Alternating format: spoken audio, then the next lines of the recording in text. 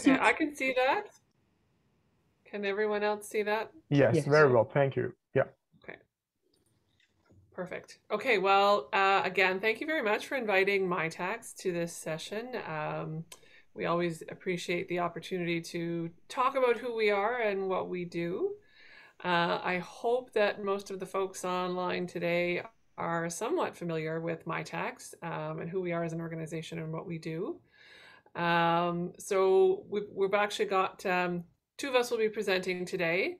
Um, I will start off and give a little bit of an overview of my Mitacs, just who we are as an organization um, and what we do, and then specifically focus in on um, some of the programs that we run. Well, the programs that we run that uh, where there is a specific eligibility for uh, postdoctoral scholars, um, and then my colleague Valentina will talk about our the training and the training workshops that are available through Mitacs again for po- post postdocs.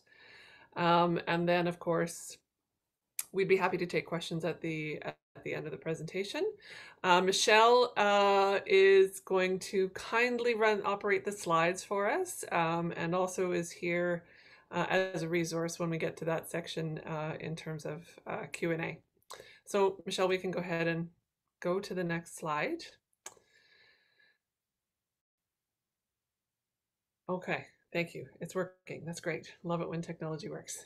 Um, okay, so so Mitacs is an organization. We are uh, we're very interesting organization and a very unique organization. We are national. We are independent. We're a not-for-profit organization, um, and we are de- dedicated to fostering economic growth through innovation. Um, next slide, please.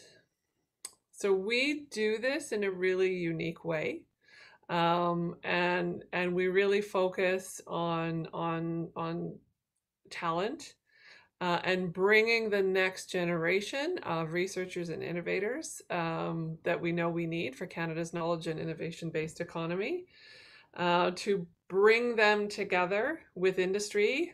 And when we say industry, I'm talking not just private sector companies, but also not for profit organizations or community groups. So we bring that talent in post secondary institutions together with, with industry uh, to develop projects, collaborative projects with which both address specific issues in industry or or by these um, non-for-profit organizations, while also advancing research goals. So we have been um, we are very very focused on driving innovation. We do that by matching the expertise that's in Canadian institutions, post-secondary institutions, with the needs of the Canadian economy more broadly. That's kind of the simplest way uh, to describe it. Next slide, please. Um, we do this by uh, virtue of several different programs that we run. Hopefully, you have heard uh, some of them. But at the core, all of the programs still maintain, are, still remain true to that principle of matching the talent and the expertise that we have in post-secondary institutions with the, the, the broader innovation needs of of the economy. So all of our programs, while there are differences, uh, and I'll walk you through some of those, and in terms of who they're targeted to and, and some of the specifics of the actual programs themselves, they're all fundamentally based on that principle, and there are a number of shared objectives.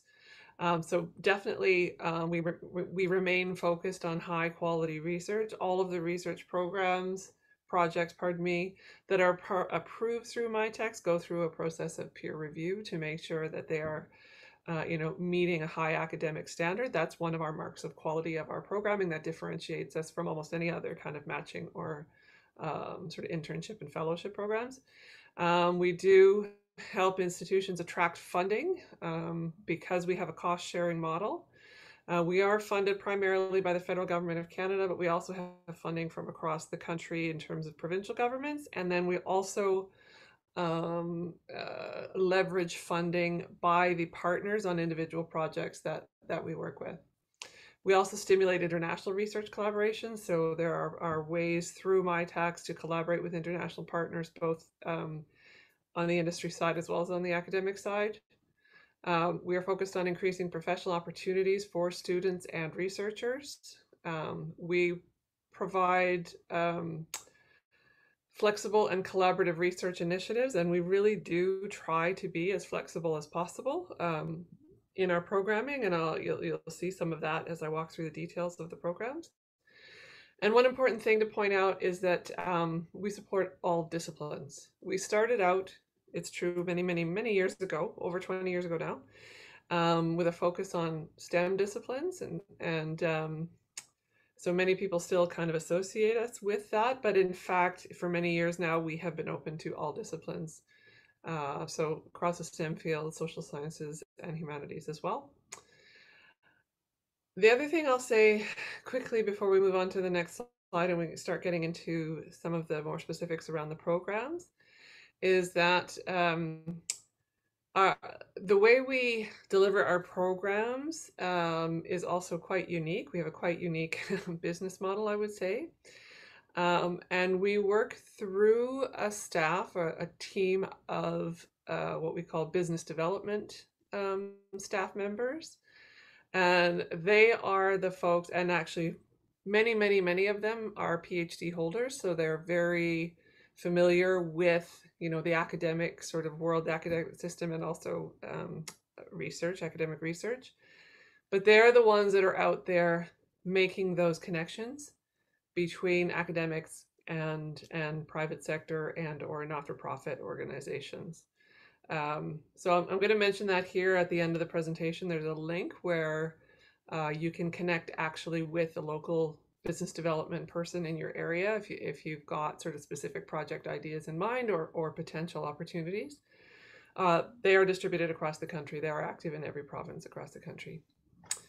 Okay, next slide. So um, this is this is now we're going to get started. We're going to get uh, started on naming all of our programs, and you know maybe this will just be uh, I don't know an alphabet soup at the end, but uh, I'll try to, to explain some of the differences in our programs. So the four that we really wanted to highlight today because of their relevance, particularly to this group, um, our Accelerate, Elevate, our Business Strategy Internship, and our Canadian Science Policy Fellowship.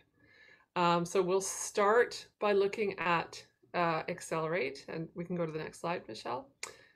Um, and this one is sort of our kind of our foundation. It's the core. It's kind of our flagship program. And this is um, applied research collaborations between researchers and Canadian and international companies and not-for-profit organizations. So, so this is really the core of all of our of all of our programs. But this is this is the foundational piece. Um, it's open to academic institutions right across the country. Like I said, in every province. Now we're working also um, uh, in the Yukon as well, which is exciting. Um, and the way this program works is, is it's based on internship modules or internship units, as we call them, of four to six months. So one internship is uh, four to six months in length. Um, again, open to all academic disciplines. The, this is not a competitive process. These applications come in on a rolling basis, so that you, uh, an application to Accelerate can come in pretty much at any point in the year. The idea of the module or the internship unit is that uh, we can support projects that have, you know, on one collaborative project, there is one intern. We can do a project where there's two interns. We can do four interns. They can be there at the same time. They can be there sequentially. So this is some of the flexibility that I was talking about in terms of our programming we you can kind of stack these units or stretch them out um, depending on the needs of the project. Next slide, please. Um, so just some some some details slash stats on on Accelerate. Um, the eligibility actually spans college student level right up to postdoc. So it's college students, undergrads, grads, and postdocs. Uh, some of those eligibilities are newer than others. Traditionally, we have focused on the PhD and postdoc level um, within the Accelerate program. Uh, and recently, we've expanded that to really cover the full spectrum of, of students in post-secondary education. Um, we have small and large scale projects. Some of them are, again, really interesting because they can be multidisciplinary. So you can bring in actually students and and professors from from different uh, faculties within an institution, different dis- disciplines.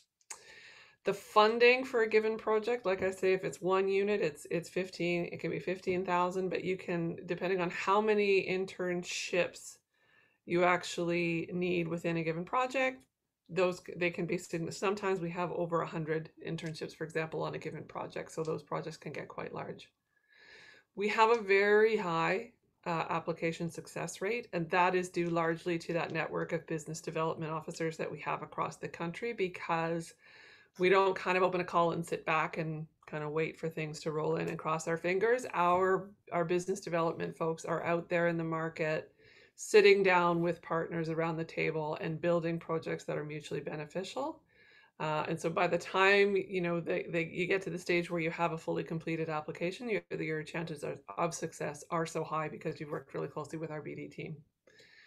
Um, our application process is relatively simple. Um, we, uh, even with our peer review process, we um, get decisions back uh, on project applications between uh, in a period of time between six and eight weeks. Um, and interestingly, uh, both domestic students and international students are eligible to participate in Accelerate. So if you're a graduate student here on a study permit, um, you are still eligible to participate in our Accelerate program. Um, next slide, please. So business strategy internships. Um, this is this one is is a relatively new initiative for Mitacs. We actually launched it last year um, sort of after the, the, onset of the pandemic. Um, and the idea is, again, it's very similar. It's still based in, uh, it's still an internship program. It's still based on matching the needs of industry with the expertise that's in post-secondary educations. But these projects, rather than being focused sort of on the uh, R&D or the applied research side of innovation, these ones are really designed more to help a company with kind of the business end of innovation, right? So innovation is more than invention. It's how do you get things to market? How do you how do you get them adopted? Um, what do you need to think about in terms of a successful business strategy to get your you know your product or your methodology out uh, successfully into the marketplace? So these internships um, are really focused more kind of that end of the spectrum, but still very similar. Uh, the award value is between 10 and 15,000 per four month unit. So we still have that unit based approach. Um, it's open to businesses and eligible not-for-profit organizations. Um, we had a lot of uptake from small and medium-sized companies last year. A partner, so the, the, the host company will pay 50% of the overall cost. This one also runs on an, uh, an open application cycle, so applications are accepted at any time. And again, you can build a, a BSI project for more than one student and more than one internship unit. Eligibility, again, open from college student right through to the postdoc level. Um, next slide, please. Elevate. Okay, this one is, um, we can go right to the next slide. Yeah, this is a program that really is targeted specifically to postdocs. Um, and again, it is a it's a fellowship model. Um, so this one is for postdoctoral researchers to work in a sort of in a longer term kind of arrangement with the partner host organization. So an Elevate Fellowship is a two-year collaboration. Um, again, open to all academic disciplines. These ones are, while they're still focused on the research end of the spectrum, these are also really focused also on research management within, um, within the host organization. So we actually provide, um, this Elevate is unique and, and a bit different from Accelerate in that there's actually a customized training program that accompanies an Elevate fellow while they're doing their fellowship. And Valentina will get into some details around that training program in the second part of the presentation. Um, but it is really a distinguishing factor for Elevate. Um, this one is um, a competitive process. So this one, there are specific calls that are issued um, and applications um, are adjudicated through, through our, our uh, research process. Um, next slide, please. So because it's a longer term placement than an accelerate. Um, the value of the awards are a bit higher. Um, so we have uh, the the salary slash stipend for a fellow is 55,000 per year over two years. There is also the availability of some some additional research funding, $5,000 per year over the two years. And then there's um, the value of the training program that I mentioned. Um, so the bottom part of the slide is just sort of how that, that cost sharing works. So 30,000 of the overall 60,000 will come from the host organization and the rest comes through Mitacs funding. Um, next slide, please. And the last one, which um, is also of, of interest to, the, to this group, uh, is the Canadian Science Policy Fellowship Program. This one is a little bit unique. Um, it's a really great program and it's still, you know, matching the talent that, that's coming uh, through and out of our post-secondary institutions. But instead of matching that with the private sector or not-for-profit organizations, in this case, we're matching that with government departments. So for any um, scholars, PhD holders who have an interest in bringing their sort of expertise and their science into the public se sector to basically, you know, improve our capacity to make evidence uh, informed decisions and evidence informed policies. This is a really great program. It's modeled on the AAAS program in the United States that's been running for over 30 years, if any of you are familiar with that. Um, our program has been running now for four or five years, five years actually now. Um, so we embed academic researchers who are PhD holders in the public sector for a year. Um, so we run, again, we run a competition, we run a call and we do a, a matching exercise to place the candidates with their host government departments. Um, and we've had incredible success with this over the over the initial five years, and we've had some really stellar candidates who've come in and, and um, been placed with Canadian government departments, and a number of them are still actually working in government and or in, in not-for-profit organizations, but still with a very much a science policy focus. So this one is open to um, PhD holders. So it, it's definitely, I would say, probably the the largest group of uh, participants is from the postdoc crowd. It's also open to academics. So if you're a, a, faculty member at an institution, you are also eligible to participate in the, in the CSPF program. Um, and in this program as well, uh, we also, Mitacs provides, again, a customized training program to help build the capacity of those fellows uh, uh, specifically in uh, policy making um, and and helping to bridge the wor- the two worlds of sort of academia and and uh, inside government because they are quite different in many ways. Um, so that's actually a nice segue into Valentina's part of the presentation, who's going to talk about um, our training offerings at Mitacs. So Valentina, over to you.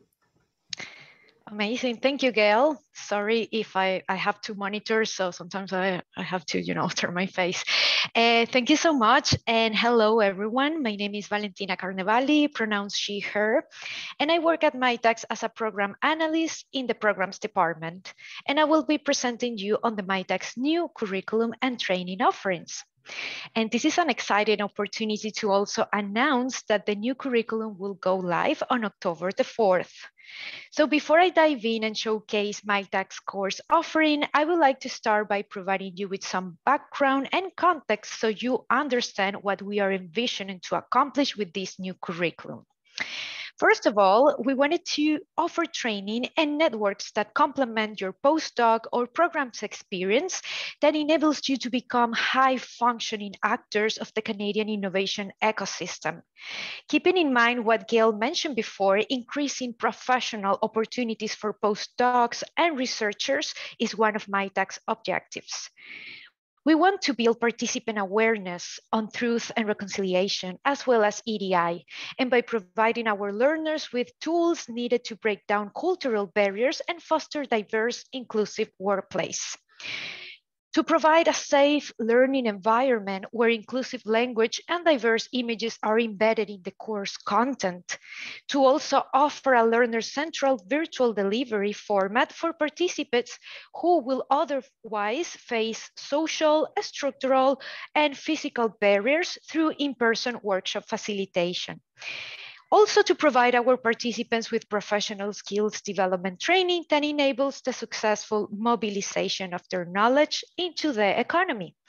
And lastly, to provide a learner-centered and mother training opportunities to our postdocs, fellows, and interns, all in line with the best practices of the learner industry.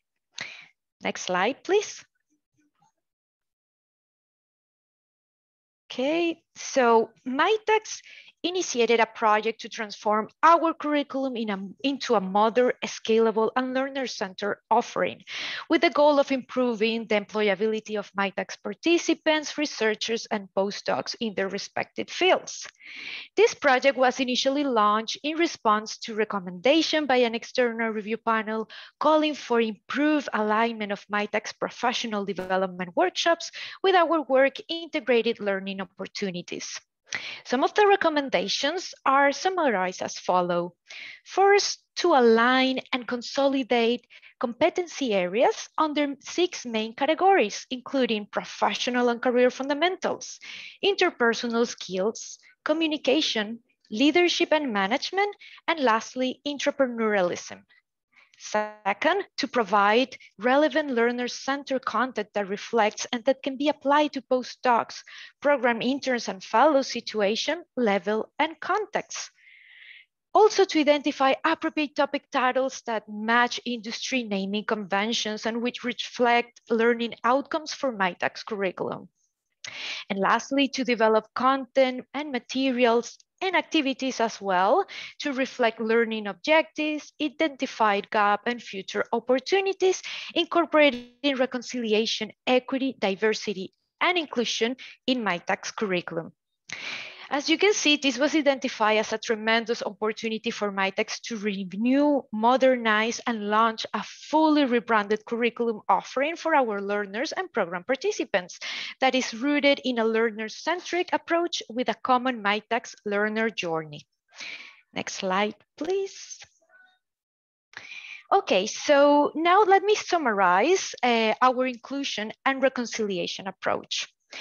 In the process of curriculum design, EDI and reconciliation are embedded into the storyboarding, writing, deployment, and evaluation of each of the courses.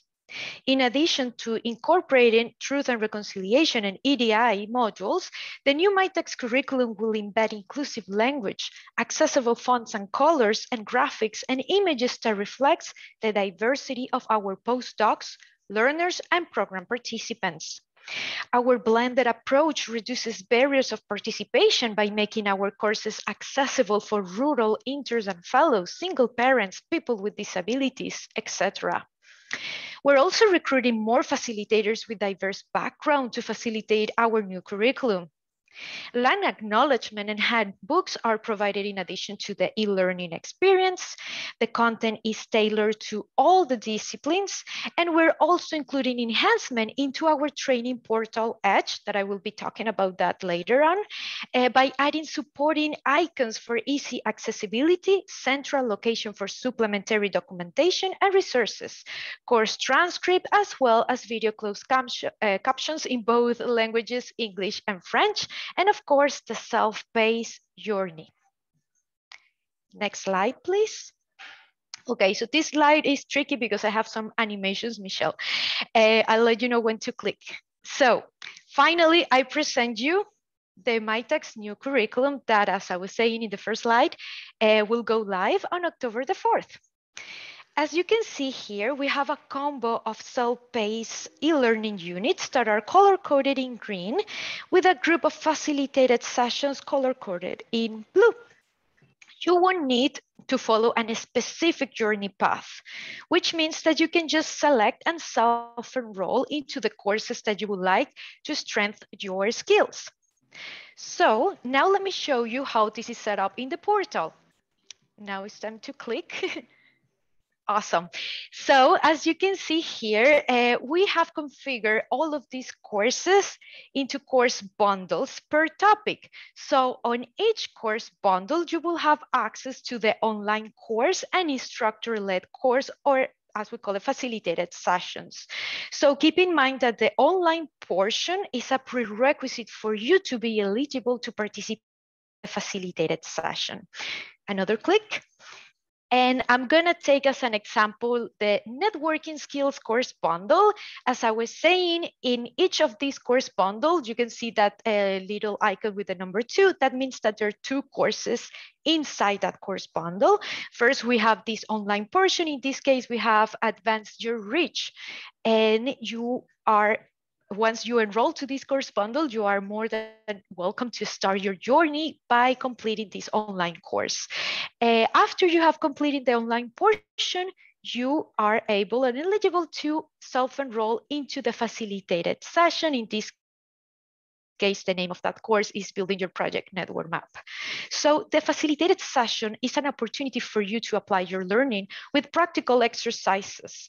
Our facilitators will provide feedback, clarify questions, moderate conversations, and make sure that the learning outcomes are met. Next slide, please. All right, so as Gail was explaining before, our Elevate program is a two-year fellowship where the training component is required as part of their fellowship experience.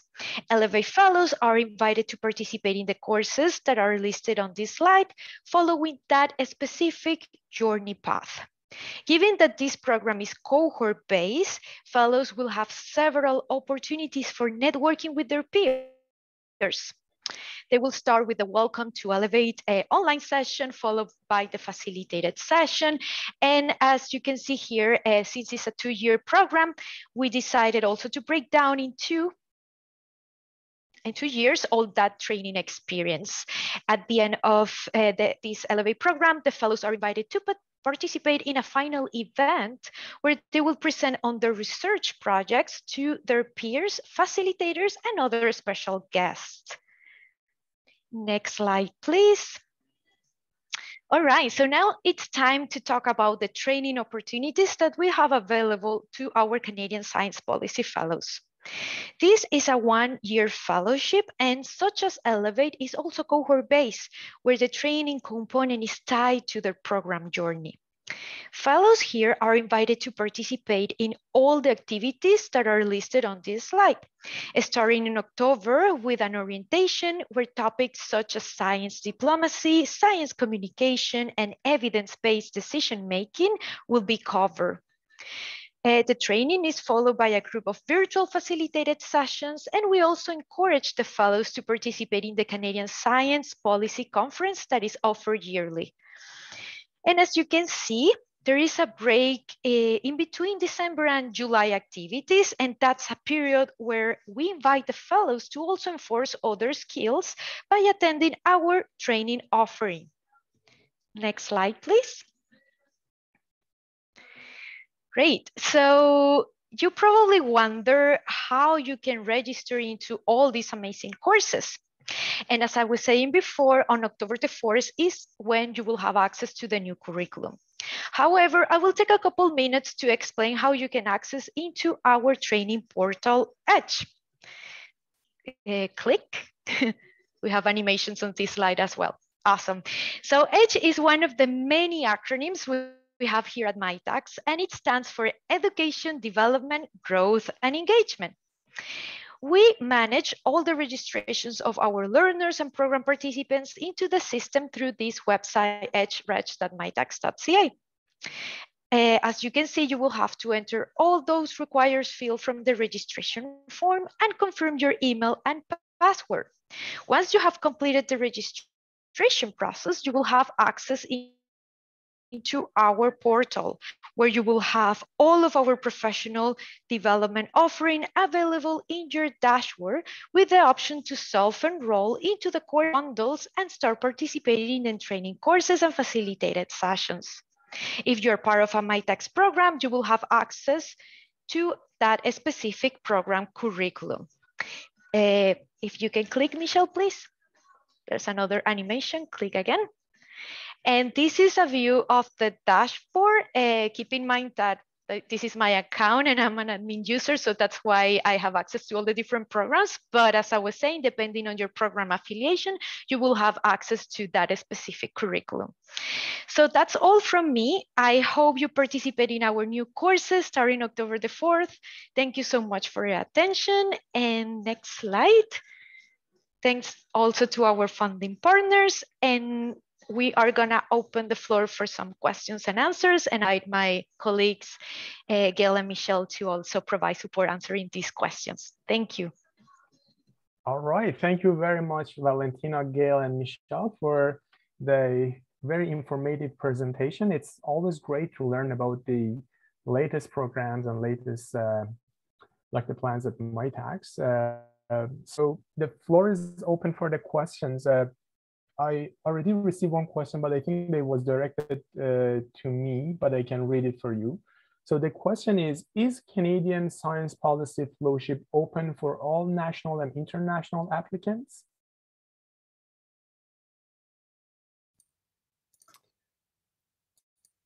Sorry, had trouble getting my video back on. Uh, I can take that one. Uh, so right now, um, the the Canadian Science policy fellowship program is is only open to um, Canadian citizens. Um, and that is because largely because we are placing when we place a fellow in a government department, um, the government department effectively becomes the employer and the fellow becomes the employee. Um, so we have to basically comply with um, sort of the government Oh, is there any perspective that it would change in the future or? Um, I don't really have a crystal ball, but um, but what I would say is, so that program is, like I said, it's in year five. Um, it's not a huge program, so you know we we run at about twenty ish fellows per year. It's a fairly selective program. Um, so we're sort of constantly looking at how it's running, what we're learning. I mean, we've been learning a lot over the, the first five years of the program. Um, so I, I will say the program will likely evolve in some ways. I just exactly in what ways it I, I think that's fair. Oh yeah. no, thank you. So is there any questions from audience? If so, please either raise your hand or unmute yourself to ask the questions. I actually received two other questions in the meantime to see if there is anyone else to ask the question. So one question was about the eligibility period for postdocs. So for instance, uh, Tri-Council has put like, I think, I'm not sure if it's more for the Tri-Council side or the universities, but there is a like five or six years of eligibility if you're postdocs, and after that, they don't count you as a postdoc. Now, since the industry is involved in these fellowships, does it change the scenario? Is that completely different from Mitacs? I can take that one. Uh, generally, um, it's aligned with the tri, tri councils. The exception to the rule is for our CSPF program because we're attracting both faculty potentially as well as people who have been in industry and are interested in going back into um, an opportunity to work in potentially government and inform policy um, evidence uh, informed policies uh, they uh, the eligibility is a bit more um, comprehensive and not aligned with the tri councils but for other programming it is. It's five years. Oh okay. Thank you. And my second they received was from uh, about the business strategy internship. So I think that Gail mentioned that it's open to college and uh, all the way to the, the postdocs. So uh, what does it mean by college? Like the, is that college students or any type of trainee can take advantage of it? Let's say that there is employee in the college and they want to take advantage of this, this internship. Is that open for those uh, like the people as well, or they have to be the students? Do you want to take that one too, Michelle? Sure. Can you just repeat the question so I'm clear on, on what it is? Oh, yes. Uh, so the question is about the business strategy internship. And based on what was mentioned, it's open to from college to, to, to postdoc. So uh, my question college, uh, is that for college students or even the college being introduced by college as an intern? Are they allowed to take advantage of this program? primarily on college and not so much employees, but that's an interesting question. As Gail has mentioned, um, we ran that pilot first year just demic, and we've learned a lot. We've changed the capabilities and broadened them for this second year, including eligibility of colleges. Uh, to date, we haven't had a circumstance where an employee at a college would be interested in participating, but that's something I can take away to discuss internally that that may arise. And I don't see why we would um, not at least assess that internally. But for right now, it's uh, college students. Oh, I understand. Thank you very much. So any questions from our audience? I am trying to see if there is any hands here. Um, well, perhaps in, in the, uh, again, I, am trying, I received a couple of questions before the session set to, to our speakers. So um, from uh, day, we had, first day of fall, we had the meetings with all the postdoctoral associations in Canada. And uh, we were talking about the, the rights of the postdocs, about the, the standards that why universities are, for instance, paying postdocs, I don't know, 30K, 40K, or something like that, or 50K, it depends. So uh, one of the thing was that the Tri-Council funding agencies will kind of set, the, has, has set the standard there. So the universities, technically, they do not go over that, even though nothing is like the set as a rule, but it makes sense that if the Tri-Council is not paying, say, over 45K, uh, the universities will not go over it. But um, my question is about the, the, the Mitacs. Is there any uh, like the limitation? Is there any standard that you have set? I, I understood that you have accelerate, you have uh, elevate, and each of them has its own like the contribution from the industry and the university side. But is there uh, anything in the perspective of Mitacs that uh, you want to push it and kind of encourage the universities to increase that standards for the the postdocs, considering that the postdocs are HQPs, are highly qualified personnel of like Canada. And uh, obviously when you compare the rights and the benefits and even the salary of a postdoc compared to a junior faculty, there is a huge gap and the person is not receiving what a junior faculty is receiving in the beginning of the path. So, so this was a question that was raised and it's more about the, the right of the postdocs. I want to see that what's your standpoint on this topic?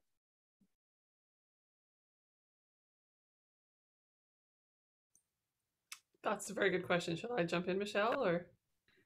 Yeah, I'll probably add to whatever you have to say. I have a couple of thoughts. Do you want to start then? Ah, okay. Sure. Um, we, we are aware, and I think we've always defer, and we understand the disparity actually across the board on this, and it is problematic to say the least. Yeah. I think we can all agree. Um, and I would tie it back to the the work that we've prioritized over the last couple of years in acknowledging, you know, the equity, diversity, and inclusion perspective to our programming, and then specifically that different groups are touched differently. So, one size fits all model is probably not the best approach given the kind of challenges that different groups experience, different participants experience.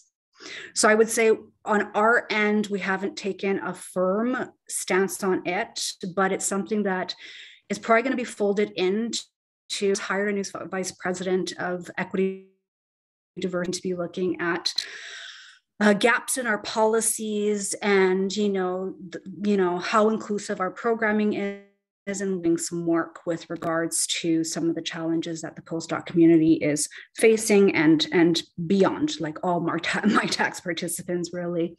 And so i think that's something for myself will flag definitely back and will come as part of that discussion so no imminent acts i would say on our part until we do that broader assessment um, to understand the yeah, the these problematic issues, and I think that uh, that's definitely one that I will add to the list because I am aware of it. But we've just hired uh, this new person, and they've got some big shoes to fill. It's a big mandate. So I don't know if Gail, if you wanted to add to that. Yeah, not too much. I mean, I would underscore the same thing. We are aware of a number of the issues, um, and it's we, you know, I would say we're fully cognizant of the fact that the landscape for for postdoctoral scholars across the country is a bit challenging in a number of ways. Um, you know, CAPS has done some great work over the last number of years to address, you know, uh, a number of different different issues. You know, employment status, insurance, and um, salary levels. Um, so yeah, it's it's a very very tricky landscape for sure. Um, and uh, like Michelle said, um, you know, there's there's you know still work to do on that front, but um, but it's yeah, it's you know uh, we think our programs offer particularly elevate i mean that's you know that's that is a program that is very strictly targeted to postdocs um, and that offers a salary of up to 55000 per year um, plus the the research funding. Um, so you know it's um, that that's where we that's where we sit now. Um, but yeah we totally recognize this is a this is a challenging a challenging landscape to navigate. Absolutely. No that that is great to know that is, is uh, about it to have the vice president of edi this and we hope that with the help of Tri Council, Mitacs, and all the agencies in Canada, we can set the higher standards that encourage universities to, uh, at least if they are funding their postdocs internally, it would be something that uh, really like the, the deserving for, for, for our postdocs in Canada. Thank you very much. We have two hands raised here. The first one is Villemike, please. Yes, hi. Thank you, everybody, for this talk. I just wanted to sort of do a shout out uh, to the Mitacs um, Foundation because I've been a fellow before. Um, and it really helped me when I was transitioning from a European system to uh, a Canadian system. Because in the European system where I did my my uh, my PhD, there were no fellowships uh, given. So I was having an extremely hard time uh, competing for fellowships here in Canada. And so one of the opportunities that Mitacs offered was, um, well, getting a fellowship for something that wasn't requiring uh, previous fellowships. And this actually helped me enter more competitively into a Canadian um, yeah, uh, landscape and getting other fellowships. So it helped me. And uh, this is an, this is also true for for people that are struggling with, for example, not being allowed to apply because they don't have citizenship or permanent residency.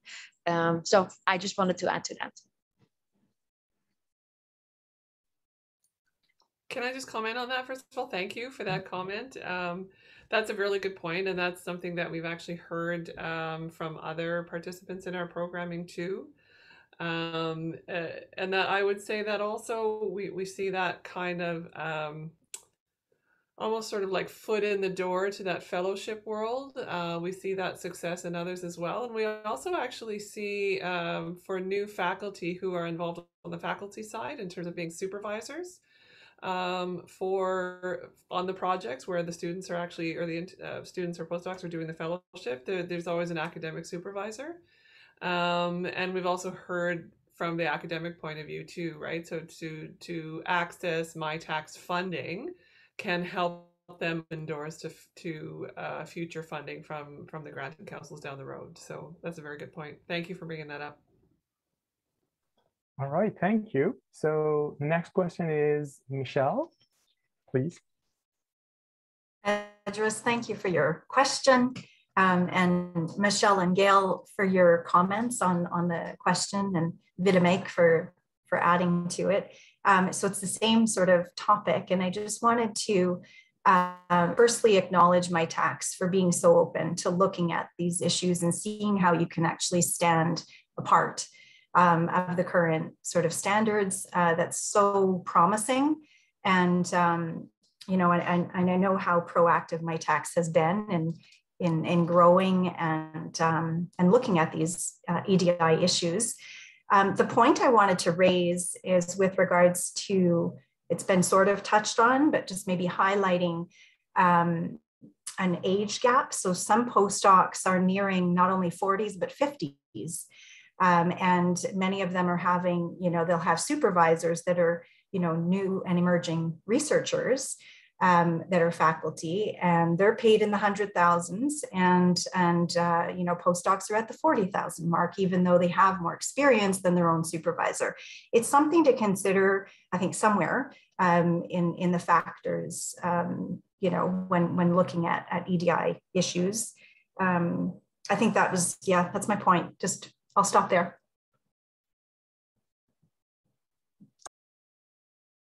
Thank you very much, Michelle. If there is any comment from the, the speakers, if not, uh, I've got two more questions. Oh, we have Michelle there. No, I, I thank you for that insight. And I'm, I'm taking notes and just kind of to process and take back and see how it fits into the broader work we're doing with EDI. So, so thanks for that, Michelle. All right. Thanks for being open, Michelle. Thank you very much, Michelle. So uh, I'm, I'm receiving actually the questions in as direct message to myself. So I will encourage everyone just to write it in the chat. I can't uh, navigate all of them at the same time, but uh, I can just read a couple of them that I'm receiving that in direct message. So one of the question was about, um, uh, said that I might have missed an information. Are the Mitacs courses also offered to postdoc not supporting by Mitacs programs? Yeah, and the short answer is yes. All these courses are available to all of our postdocs. Uh, not, not, you don't necessarily need to be part of a Mitacs program. You are eligible to participate. I see. Wonderful. The next question is that I did my PhD five years ago. Am I eligible for postdoc uh, under Mitacs? Like De dependent on the program. Um, so some of the programs that were mentioned the accelerate elevate within five years are still eligible. Beyond that not but for cspf it, it's open. So there's not that cap at the five year mark. I understand. Thank you. And the other question is oh okay. I, think that it's not related to Mitacs yeah it's about for myself uh, so is there any other questions from the, the audience? If there is no other questions, please join me to thank our speakers from Mitacs. We really appreciate your presence and the, the great talk that you did for our audience. And uh, we look forward to collaborate more with uh, Mitacs as the Canadian Association of Postdoctoral Scholars. We have uh, the, the change that we had in our association was uh, we are backbone with our uh, like the postdoctoral associations in, across Canada. So we think that we have a stronger voice. We are really uh, like the we feel like as a very larger community. So that would help us to understand more concerns of the postdocs. And we would love to share some of those, those with, with Mitacs and TRI agencies and to get the insight from your side to hopefully provide some better environment for our postdocs in Canada. Uh, but thank you again, everyone. Thanks to all the speakers, and uh, we appreciate your presence. Well, thank you again for for inviting us to this. Uh, we've had a we've had a pretty uh, warm relationship with CAPS over a number of years, um, so we're happy to keep that dialogue open and uh, it's great that you think of Mitacs for events like these where you're convening folks. Um, so thank you very much. And um, we'll look forward to um, further interactions with you down the road.